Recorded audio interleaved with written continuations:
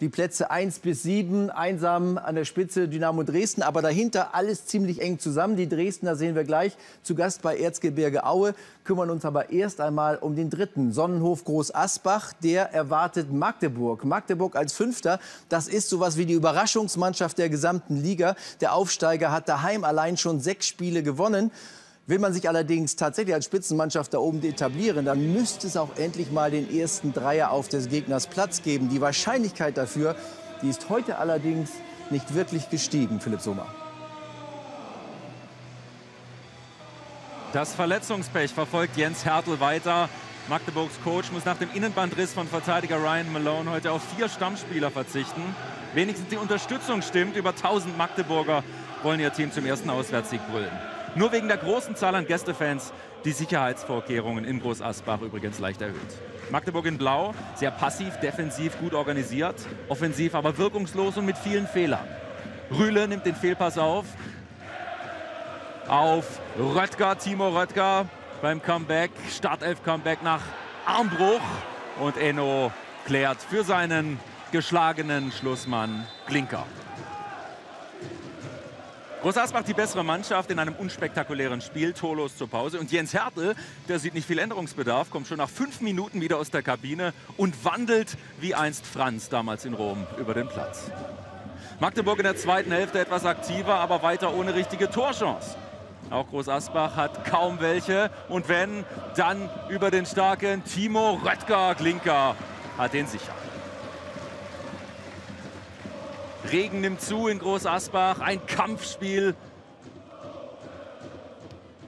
Beide Teams versuchen, keine Fehler zu machen.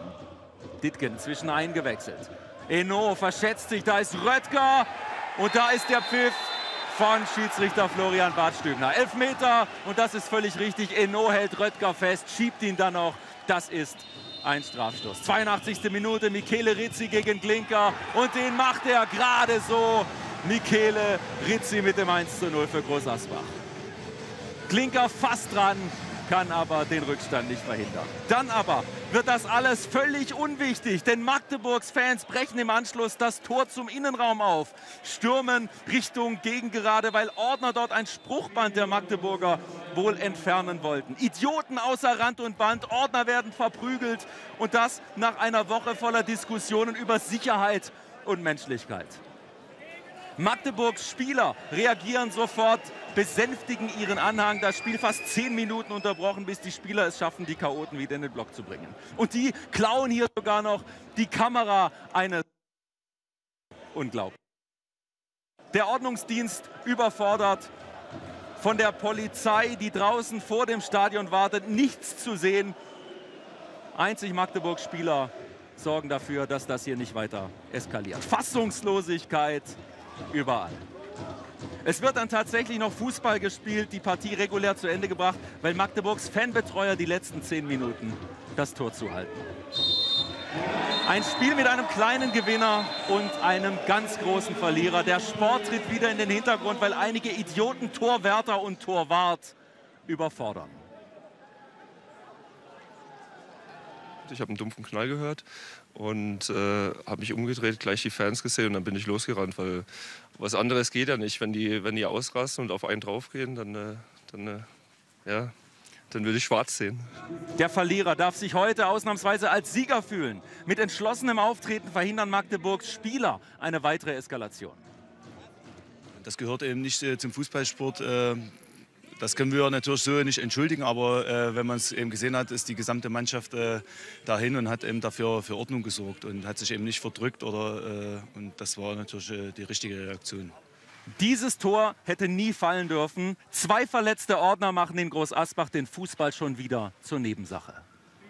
Ja, Hut ab erstmal vor der Reaktion der Magdeburger Spieler, aber ansonsten ist ja unfassbar, dass in einer solchen Woche nach diesen Erlebnissen und diesen Tagen, man, man mag es gar nicht glauben, also ein paar, die begreifen es wahrscheinlich nie. Die Plätze 1 bis 7 einsam an der Spitze Dynamo Dresden, aber dahinter alles ziemlich eng zusammen. Die Dresdner sehen wir gleich zu Gast bei Erzgebirge Aue, kümmern uns aber erst einmal um den dritten Sonnenhof Groß Asbach. Der erwartet Magdeburg. Magdeburg als Fünfter, das ist sowas wie die Überraschungsmannschaft der gesamten Liga. Der Aufsteiger hat daheim allein schon sechs Spiele gewonnen.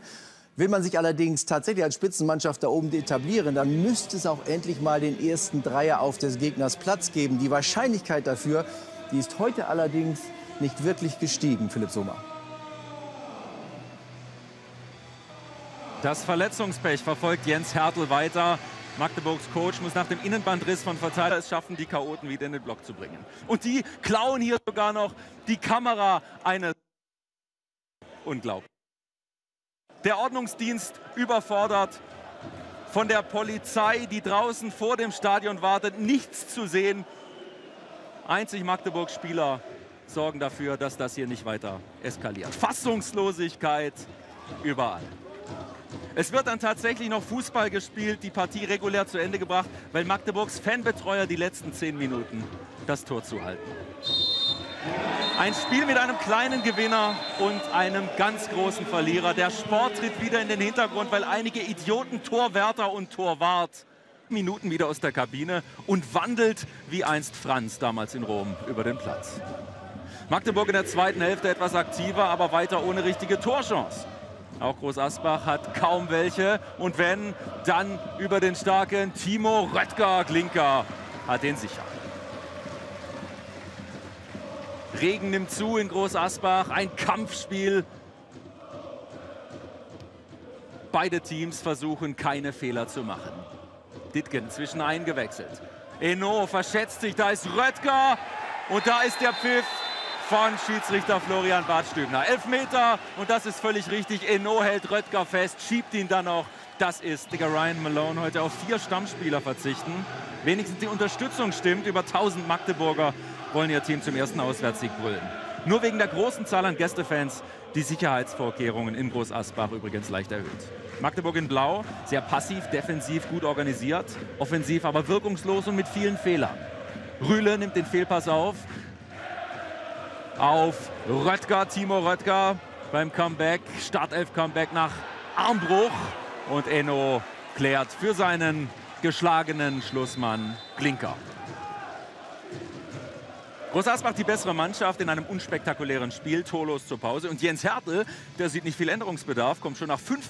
Ein Strafstoß. 82. Minute, Michele Rizzi gegen Glinker. Und den macht er gerade so. Michele Rizzi mit dem 1 zu 0 für Groß Asbach. Klinker fast dran, kann aber den Rückstand nicht verhindern. Dann aber wird das alles völlig unwichtig, denn Magdeburgs Fans brechen im Anschluss das Tor zum Innenraum auf, stürmen Richtung Gegengerade, weil Ordner dort ein Spruchband der Magdeburger wohl entfernen wollten. Idioten außer Rand und Band, Ordner werden verprügelt und das nach einer Woche voller Diskussionen über Sicherheit und Menschlichkeit. Magdeburgs Spieler reagieren sofort, besänftigen ihren Anhang. Das Spiel fast zehn Minuten unterbrochen, bis die Spieler